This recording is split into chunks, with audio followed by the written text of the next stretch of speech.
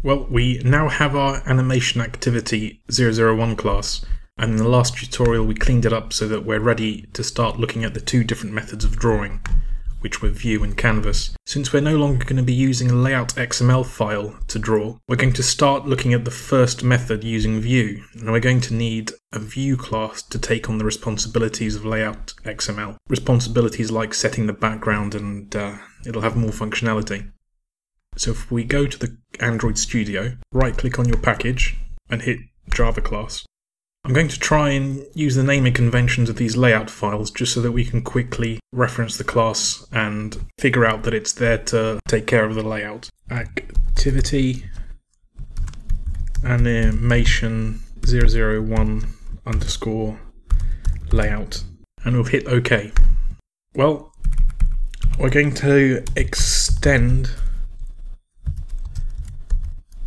the view class. This red line tells us there's no default constructor. So what we can do, we can go into code, generate, and select constructor.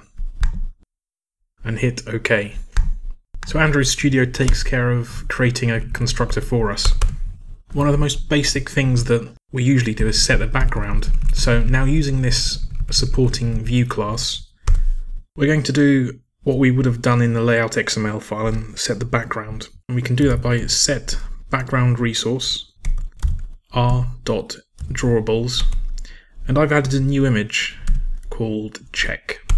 We can now use this activity animation 001 layout class in our animation activity class. So if we go into our animation activity, we can create an activity animation 001 object and I'm going to call it animation 001 layout view. And inside our onCreate method, layout view equals new activity animation layout. So we've referenced the class that's going to take care of our layouts for us. And in a very similar way to stating the XML file, we're going to set content view and tap in our own layout view. And that is how you create a supporting view class to take care of the graphics of one of your classes instead of using the layout XML file. And let's run this.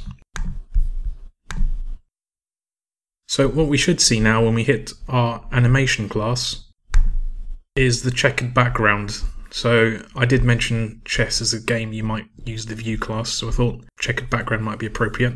And that's it. That's all I want to cover in this tutorial. Thanks for watching.